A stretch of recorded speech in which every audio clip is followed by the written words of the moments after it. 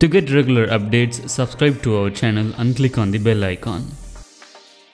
Hello friends, this is Dipali Shah from Exambin. This is the fifth part in our video series of Indian Geography. If you have not watched the previous lesson of Natural Vegetation of India, the link is given in the description. Do watch that first and then continue with this lesson. Before getting started with this lesson, do not forget to subscribe to our channel to get the regular updates. So, let's continue with the wildlife of India in brief.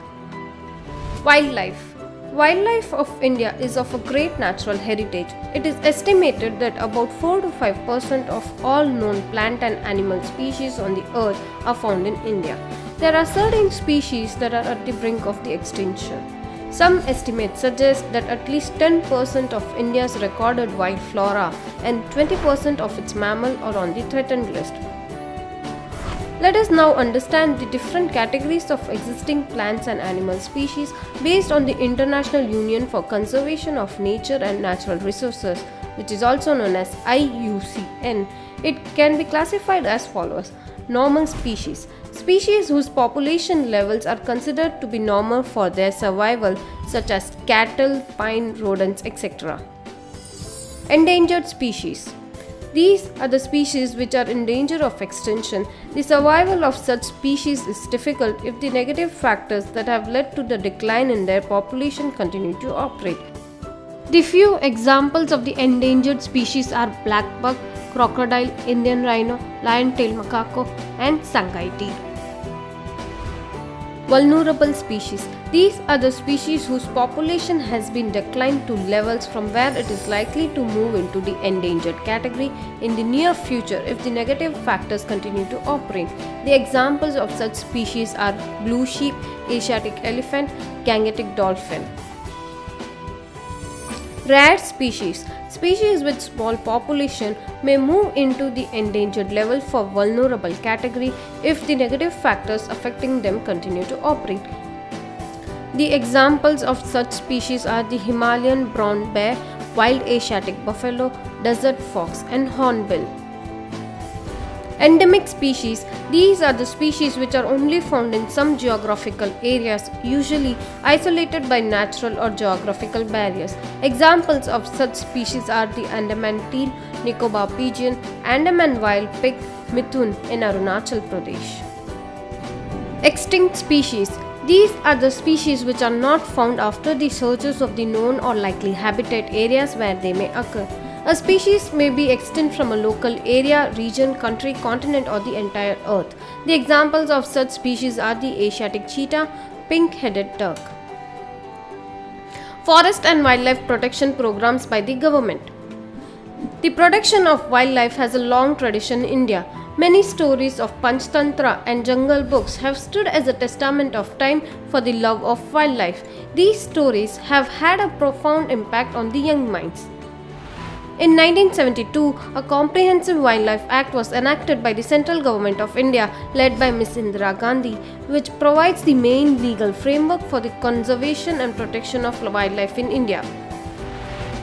The two main objectives of the Act are to provide protection to the endangered species list in the schedule of the Act and to provide legal support to the conservation areas of the country classified as national parks, sanctuaries, and closed areas.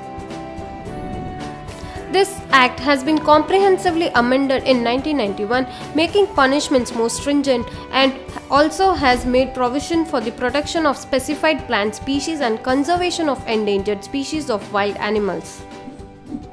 For the purpose of effective conservation of flora and fauna, special steps have been initiated by the Government of India in collaboration with the UNESCO's Man and Biosphere program.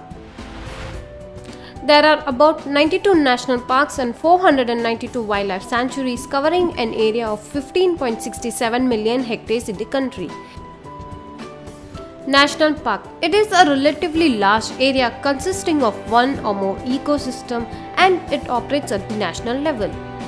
No human activity or settlement is allowed, that is, human interference is totally prohibited. Villages cannot graze their animals, and national parks have extremely strict rules about the jungle produce collection, for example, honey. To know further about the national parks in India, refer to our video on the top 10 national parks in India. The link is given in the description. Wildlife Sanctuary In Wildlife Sanctuary, regulated human activities are allowed, for example, grazing of animals, firewood collection, and tourism. It can be created for a particular species, which is not the case with the national parks. Wildlife sanctuaries are operated at the state level. A sanctuary can be upgraded to a national park but not the vice versa. To know further about the wildlife sanctuary in India, refer to our video on the top 10 wildlife sanctuaries in India. The link is given in the description. India has also introduced many special schemes like the Project Tiger 1973 and Project Elephant 1992 to conserve some endangered species and their habitat in a sustainable manner. We will now look at the few of those projects.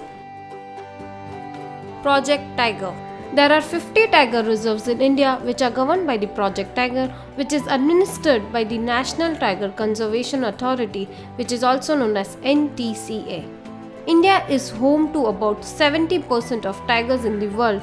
In 2006, there were 1,411 tigers, which increased to 1,706 in 2011 and 2,226 in 2014. The total number of wild tigers has risen to 3,891 in 2016, according to the World Wildlife Fund and Global Tiger Forum. Project Elephant Project Elephant is initiated for the protection of elephants, their habitats, and corridors. It also seeks to address the issue of human elephant conflict and welfare of domesticated elephants. The project is being implemented in 13 states and union territories. The objective of the Project Elephant is also to monitor the illegal killing of elephants. Project Snow Leopard Project Snow Leopard aims to safeguard and conserve India's unique natural heritage of high altitude wildlife population and their habitats. Snow leopard is a globally endangered species as well as the most important flagship species of the mountain region.